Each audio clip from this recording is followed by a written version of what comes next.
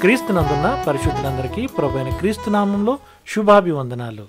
దేవుని ప్రేమ ఆధ్యాత్మిక కార్యక్రమానికి స్వాగతం. జూన్ పంతొమ్మిది కొరకు సిహెచ్ స్పర్జన్ గారు వ్రాసిన ధ్యానం చదువుతున్నాను వినండి.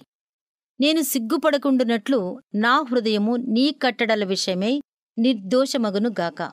నూట పంతొమ్మిదవ కీర్తన ఎనభైవ వచనం. ఆత్మప్రేరణతో కూడిన ఈ ప్రార్థనను మనం మరో కోణంలోంచి చూస్తే అందులో అద్భుతమైన వాగ్దానం కనిపిస్తుంది. అదేమిటంటే దేవుని కట్టడలను జాగ్రత్తగా పాటించేవారికి సిగ్గుపడాల్సిన పరిస్థితులే రావన్నమాట. గమనించండి కీర్తనాకారుడు తన హృదయం మంచిగా ఉండాలని ప్రార్థన చేసుకుంటున్నాడు.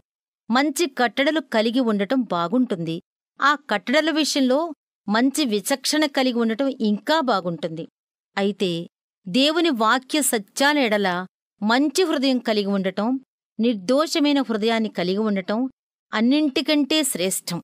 మనం ఖచ్చితంగా సత్యాన్ని ప్రేమించాలి. దాని గూర్చిన స్పష్టమైన అవగాహన కలిగి ఉండాలి. దానికి లోబడాలి. అలా కాని పక్షంలో మన హృదయం దేవుని కట్టడల విషయంలో నిర్దోషంగా లేదన్నమాట.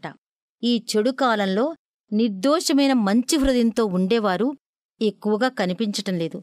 మీరు నేను అలాంటి వారంగా ఉంటే ఎంత బాగుంటుంది? మహాతీర్పు దినంలో మనందరి వ్యాజ్యాలు తీర్చబడేటప్పుడు మనలో చాలామంది తాము చేసిన కార్యాల విషయంలో సిగ్గుపడాల్సి ఉంటుంది. వారి బుద్ధిహీనమైన పనులన్నీ బట్టబయలవుతాయి. వారి గర్వం బట్టి విశ్వాస భ్రష్టత్వం బట్టి ప్రభు ఎడల వారు బుద్ధిపూర్వకంగా చేసిన తిరుగుబాటు బట్టి తీవ్రమైన అపరాధ భావనతో నింపబడతారు. అయితే ప్రభువు బోధలను విశ్వసించినవారు ఆయన ఆజ్ఞలను పాటించినవారు దేవుని సన్నిధిలో నీతిమంతులుగా తీర్చబడతారు. అలాంటి నీతిమంతులు సూర్యునిలా ప్రకాశిస్తారు. ఈ లోకంలో బహుగా అపనిందల పాలైనవారు దూషించబడినవారు ఆ రోజున తమ అవమానం అంతా మహిమగా మారటం చూస్తారు. ఈ రోజు జానవాక్యంలో ఉన్నట్టుగా మనం కూడా ప్రార్థన చేద్దాం. ఆ ప్రార్థనలో దాగి ఉన్న వాగ్దానం మన ఎడల నెరవేరబోతున్నదని ధైర్యం తెచ్చుకుందాం. ప్రభువు మనలను నిర్దోషులుగా మార్చినప్పుడు ఆయనే మనలను క్షేమంగా కాచి కాపాడతాడు. దేవుని ప్రేమ ఆధ్యాత్మిక కార్యక్రమాన్ని చివరి వరకు వీక్షించిన శ్రోతలందరికీ మా హృదయపూర్వక వందనాలు. తిరిగి మరలా రేపటి ఉదయకాల సమయంలో కలుసుకుందాం. అంతవరకు సెలవు.